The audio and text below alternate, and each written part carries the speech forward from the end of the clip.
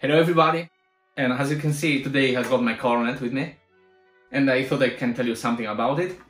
If you have heard and listened my CD Azzurra, you can find it in the description. It's the instrument I used for most of the tracks and it is a nice story. A couple of years ago I visited my friend uh, Bob Reeves in Los Angeles and he was so nice. I stayed at his home for 10 days and we had it just you know it was just visiting like a book of stories and legends really a legend. I spent maybe the best 10 days ever with him listening all these stories about his customers from from 40 50 years ago. Just unbelievable. If you if you are around los angeles you have to go visit bob and just spend time with him a little bit because it's like that's the experience you want. Anyway I'm really affectionate to this instrument. This is a Kanstul cornet. Thanks to Bob, I got to meet like a few of the greatest legends in Los Angeles, and one of them, Charlie Davis, was so nice that he invited me to, to his birthday party, which, you know, like all these trumpet legends were there, and I was, you can't believe how happy I was to be there. We had a chat, and he was so nice that he said like I'm gonna take you to the Kanstul factory for a visit. So the next day I took my Uber and I drove to I think it's called Anaheim in California and um, he introduced me to, to Kanstul Jack and Jack was also so nice. He took me to all the factory for a really nice tour and um, I have to say I wasn't a cornet guy and the only cornet I played was our orchestra's C cornet made by Getzen and they basically used that one or the Yamaha mm, Chicago C cornet which is basically a trumpet. So I didn't have any cornet mouthpiece or anything, I didn't know almost anything about it, I have to admit.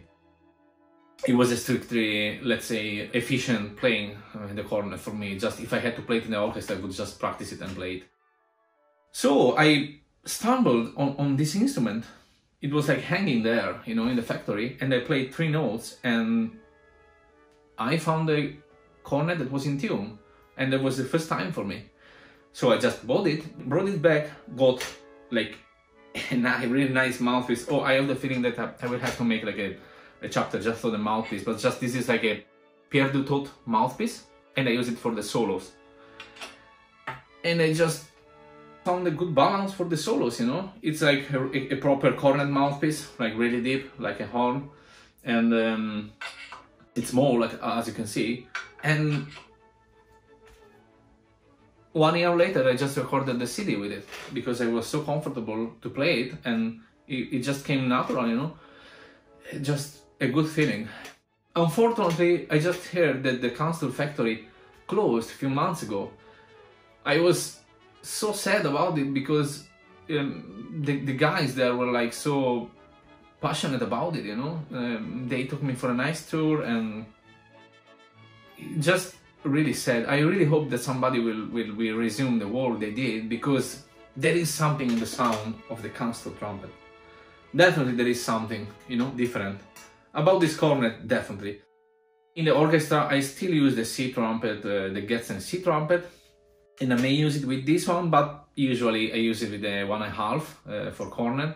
Mm, just it makes like a more of a cornet orchestra sound, and that's it. This has like nice features, this one and that one. I use either one of the two. I'm not really like a fan of this like both keys right here. I don't know how to call it triggers.